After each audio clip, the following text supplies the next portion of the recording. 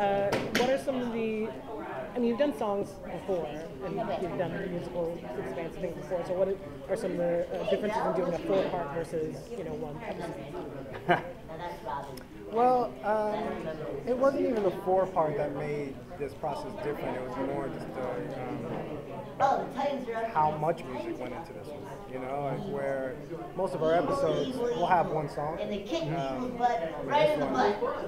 this one, this number, I'm not sure, but it's got 10 songs in it.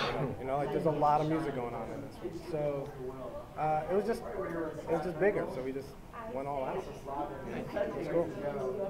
How long did it take you to get the episode down? Is it, is it done now? How long does it take you from from that episode compared to other episodes? Is part of the question. Well, that'd probably be our question for our line producer. Oh, really? to us, that part of it's magic. Yeah. Oh, really? We keep working, and she tells us when we need to start handing stuff over. oh, really? I'm like, hold on, five more minutes. She's like, no, you're done. Okay, mom. Next. um, but in this one, surprisingly, again, because she's incredible at her job. Yeah. Um, we did it in the same time we do all our episodes. Yeah. We just put more bodies in. Wow. You know, so we just we just needed a lot more resources. What was it like uh, working with Fall Out Boy? Awesome. Awesome. They were super nice, man. And they were super into it. You know, so they, they probably had way more fun than we did. I mean, it was cool for us, but they were just like, "What? We're gonna be in a cartoon." Like it was cool, you know. And even when after we did their designs, we sent it to them, and it was like no notes. They were like, "I love it." You're like, "Great." I think somebody just wanted more tattoos or something. something but that was it. It was cool. And uh, uh, CeeLo Green as well. How was that? He was awesome too. Yeah. Seriously, man. Like everybody came in and was super duper nice. You know, Yeah, we never know like if No. people are going to come in and we haven't worked with them yet, if they're to have an attitude or Yeah. just No. we're not even to get along on some weird level or whatever. Yeah. But super chill and super nice and down to just Yeah. He came in with his lady and his cute little dog. yeah, the dog made it. The Yeah. dog made it in the episode. He was adorable. you know, so we were like, it was cool, man. Again, CeeLo was just like, whatever you guys want. You know, so. Yeah, I know, because he had to sing the songs a, a cappella, and I was like, is he going to do this? Like, is he going to be like, I got to sing a song for you right now, dude? Yeah. But he was down. Yeah, it was cool. And you guys, I know you guys are pulling together a lot, the, uh, the cast does. Um, is there any like um, difficulties scheduling now Khary's Walking Dead uh, schedule? Any, any uh, clashes with that at all? You're for some dirt right No, now. no, I'm just very like, yes, Evan. Yeah, yeah, yeah. No, it's been good. It's been, uh, yeah, Khary's been out a lot Yeah. uh, on the- on the Walking Dead tour, but uh, but most of the cast still gets together, and the magic stays alive. You're mentioning uh, CeeLo's dog made it into the episode. Oh, Yeah. Uh, how much leeway is there for animation improv then, since you know you have a certain plan when you go in there, and a lot can change because you do have everybody in the room. Yeah, a lot changes in storyboards. Yeah. You know, when we go in there, like, um, when we played out that scene, the dog wasn't ever in it, you know, and we were like, man, I mean, this scene wasn't playing. Like, scene was just in a room by himself. And I was like, listen, he's got that adorable dog, let's put the dog in. And not, let's not just put the dog in, let's have the dog sing with him at some point, you know? Like, so, uh, he almost stole the show, you know? Like, it was, uh, so, to answer your question, it's, it's in the storyboard phase, um, things are constantly changing until we we find the right, you know, the right spot. What defines success for the show?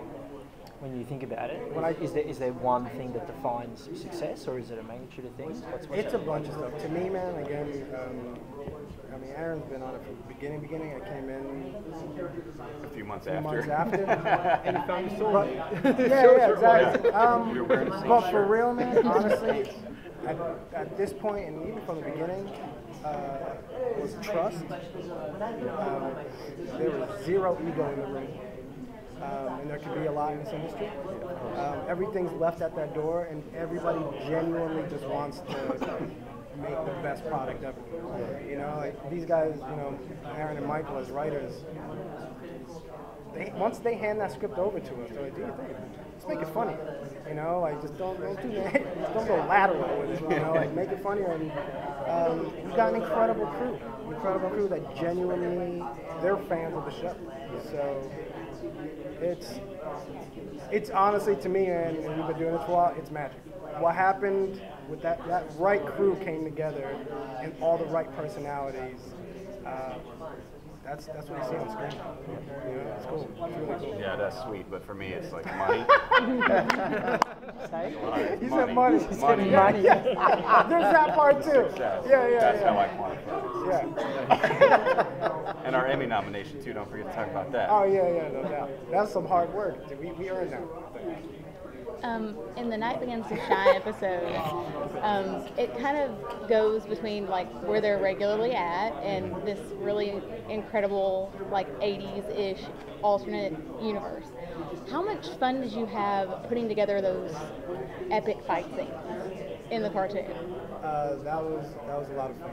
We had um, we had to pull back as like a little bit because we wanted to like we wanted to go all out. And it looks like we did, but we had ideas that were even crazier. And we we're like, all right, let's just tone this back when we actually have to ship this thing. but again, being like kids of the '80s, man, like I was like, yo, he needs to fight Centipede pretty much, you know? Like that's why he's that color, and that's where it was fun, man. I mean, we tried to just push it as much as the schedule allowed. Is what we did. Was there any idea you came up with where the animators were like, absolutely not? Uh, I don't know. Tell them. Yeah, tell them about those, those raw ideas. The raw like, idea. morally, I can't get behind this. yeah, no, I can't think of it. no, dude, they, they killed it, man. Canada came through and uh, Copernicus um, did an incredible job. They really did. Quick, quick picture, guys. Yeah. Get the shirts in, you know. Yeah, thanks. Thank you. Thank you. Thanks, Thank you. Yeah.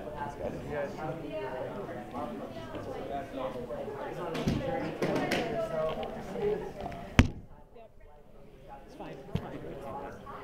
It's fine. It's, dur- it's durable. Yes. It's good.